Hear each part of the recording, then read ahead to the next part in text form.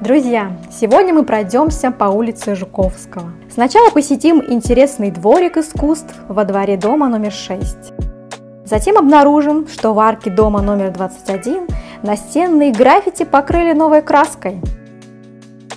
Во дворе дома номер 31 увидим гранитный фонтан и не только.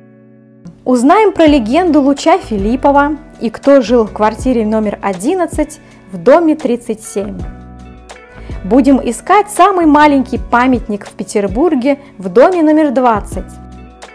Найдем дом номер 16, где жил поэт Василий Андреевич Жуковский. Узнаем про легенду дома печального ангела номер 5319 и посетим парадные дома номер 28.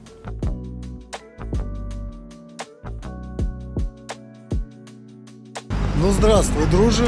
Мы с Анюткой идем сегодня на улицу Жуковского. Жуковского. Жуки.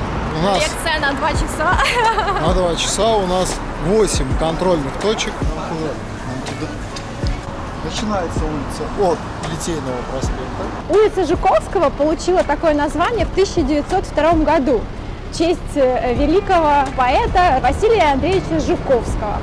Э, Поскольку он проживал в доме номер 16 по улице Жуковского, не помню в каком году, в 1809 году впервые приехал в Петербург. До этого улица носила название Садово-итальянская, итальянская, мало, малоитальянская. Такие названия связаны с заложенным на Фонтанке, дом 36, э, дворца для дочери Петра Первого Анны Петровны дворца в итальянском стиле, как было принято тогда говорить. А в городском фольклоре, фольклоре улицу Жуковскую называют по-простому Жуки. Ну что ж, друзья, пойдем вперед, и у нас первая контрольная точка – это домик номер 6.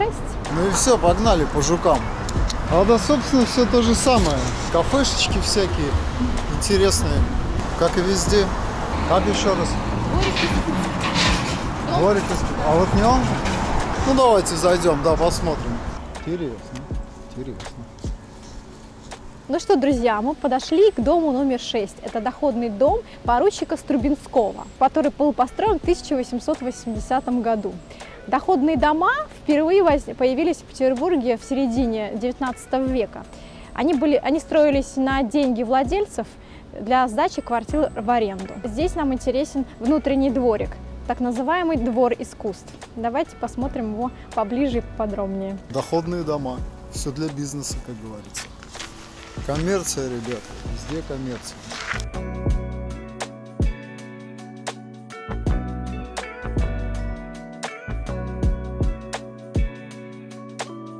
Ну, честно скажу, друзья, ничего особенного. Ну, вот мужик какой-то сидит, не знаю. Там дальше стена разрисованная. Ну, какие-то обычные граффити. Ну, так или иначе, здесь творилась история.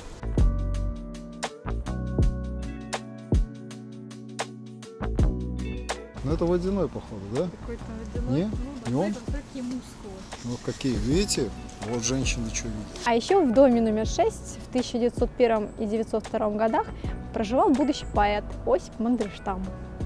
Короче, вот красота, трансформаторная будка, разрисованная в граффити. Кто-то, как говорится, вносит креатив в темные, закрытые питерские дворы. Вон еще какие-то картины висят, смотри. Здесь вот по фасаду вокруг картины какие-то висят.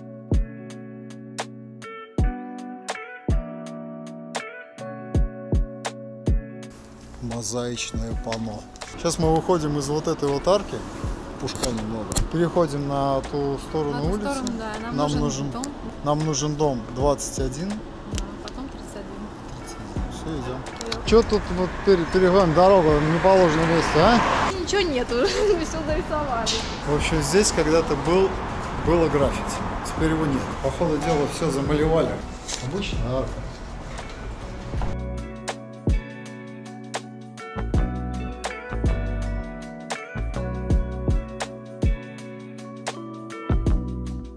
А третья контрольная точка – дом 31. Доходный дом промышленника Сигизмунда Дейчмана. Вот так вот. Сигизмунд Дейчман. Это вам не хухры-мухры. Хухры-мухры. Кстати, помнится мне что-то ты говорила там про какую-то фабрику обувную, которая... Мы не рекламируем. А, ну да, ну просто производят похожую... по- Да нет, просто назна- название у Похоже, него как фамилия Дейчман. Вот так вот, да. Не просто так, видимо. Так, но у нас тем временем дом 31. Да, это доходный дом промышленника Сигизмунда Дейчмана, построенный в 1908 году. И он интересен нам внутренним двориком с э, фонтаном. Ну Что, идем дальше?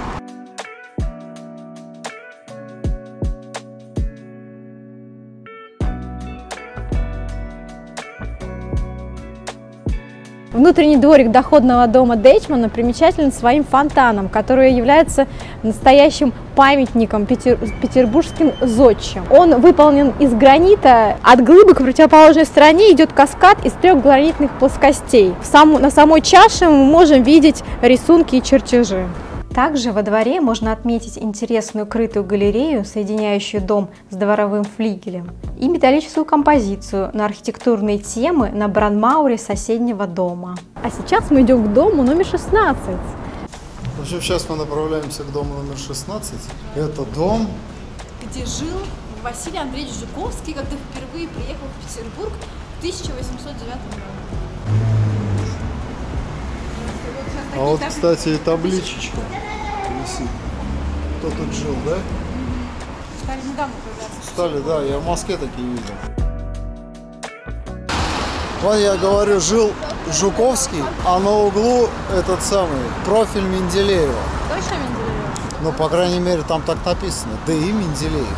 Здесь, в общем, была когда-то женская школа, потом школа Дзержинского района.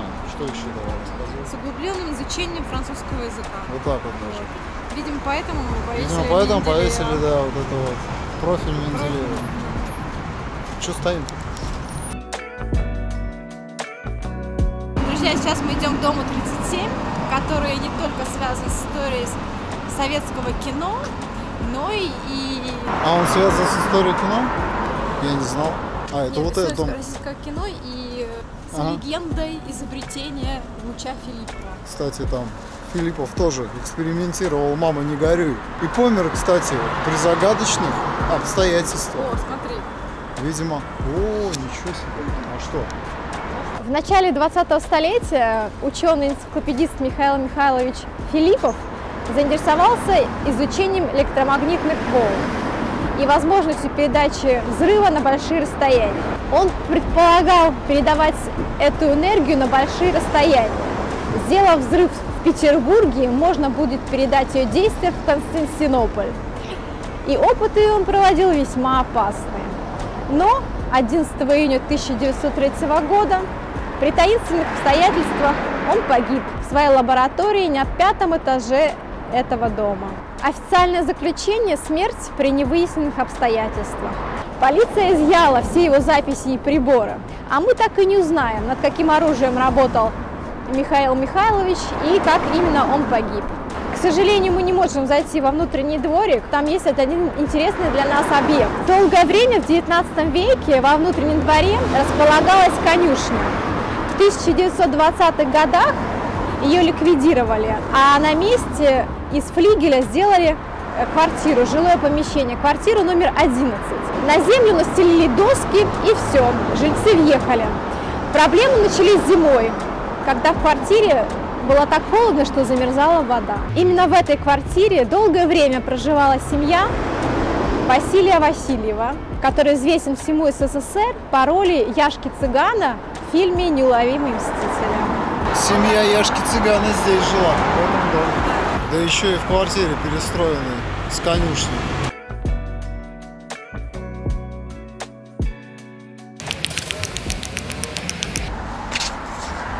Общем, во дворе этого дома установили памятник. А что за дом? Будем с боем прорываться. Очень хотим посмотреть, что ж там такое, да? Не пускают. Смотрите, оно ломает. Сломало. Выгнуло, смотри, железо, да? Видишь? Друзья, оказывается, за вот этими воротами во дворе находится самый маленький памятник в Петербурге. И это уже не Чижик-Пыжик. Это необычный памятник Данилу Харамсу, советскому писателю и поэту, жившему недалеко, в двух, буквально в двух шагах отсюда, на улице Маяковского, дом 11. Эта фигурка – точная копия автопортрета писателя, сделанная им на, на полях своей рукописной визитной карточки. Все. А дальше очередной доходный Да. дом, дом 20. Доходный дом 1834 года постройки. Там нам очень интересно отреставрированная парадная. Надеюсь, мы туда попадем. Кстати, в одной из парадной очень мутные события произошли однажды. Завалили человека, некого Блинова. Не Блинова, а этого, А. Иванова, инженера Иванова и его родственницы Смагиной. Пришел некий Родственник родственник Яков, Смагина. да, Яков Блинов. Блинов. А, Блинов завалил Иванова и Да, и сожительницу Смагина. Не сожительницу, а родственницу Родственницу. Смагину. Забрал у них хлебные карточки, и его арестовали как раз в булочной э, номер 57 на улице Восстания. А Вот, еще он был в житейская- военной форме, но не был да, военным. был, да, в форме сержанта, но не был военнослужащим. Вот такая вот незамысловатая бытовая история. В общем, повязали его в булочную. Ну, ну, а мы идем в дом 28. Пойдем посмотрим. Там дом 28, а напротив он розовый дом, дом печального. Дом 5319, дом печального ангела. О, интересно такой. Сейчас посмотрим. А, Друзья, мы подошли к интересному дому на перекрестке улицы Жуковского и улицы Восстания. Он называется Дом печального ангела. На щипце изображен барельеф крылатой женской фигуры, и жители прозвали его печальным ангелом. Это доходный дом потомственного почетного гражданина Петербурга, старосты домовой церкви при Петербургской духовной семинарии Пантелеймона Бадаева. А легенда гласит, что изображение ангела проектировщики внесли не случайно. Якобы таким образом владелец дома Пантелеймон Бадаев хотел увековечить память трагически погибшей дочери, которая выбросилась из окна. Вот такая история. Да, французское литье. Это я шучу, у меня бывает. Но я думаю, то, что вот этот вот дом ангела, это самая основная достопримечательность по этой улице. А у нас тем временем остается последняя контрольная точка. Какая? Дом 28. Дом 28. Ну, Что за дом? В двух словах. Э, Дом с э, красивой отреставрированной парадной. Вот так вот. Ну, как туда попасть, А, мы пришли? В общем, мы всеми правдами и неправдами попали во двор все же. Но где это парадное, понять не можем. Ну, такой же обычный крытый двор. Сама парадная, она с выходом на улицу Жуковского. Так что мы тут вообще, по ходу дела, не туда завалились. Сейчас нас тут набуцкают.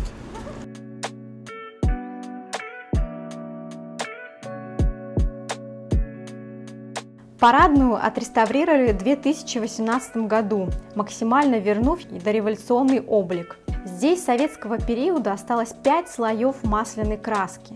Только месяц ушел на ее смывку. А восстановленной лепнине вернули исходные цвета. Там, похоже, есть парадная, но мы туда что-то не дозвонились. Какая классная машина стоит. Видите? А Зачем? Вот еще. Пойдем. Машин что ли мало? Там вон и покруче катаются, да? По дорогам. Это не там? Нет, Не это та не, парадная? не отреставрированная парадная. Но это та же, где здесь вот события все? Ну да, это слушай, можно погреться. Зеркало души. Привет. Здесь вот все эти события произошли, о которых мы рассказывали. До этого. В этом подъезде, в этой парадной. Вот она сама парадная. Классно? Классно. В общем, ну, обычная питерская парадная.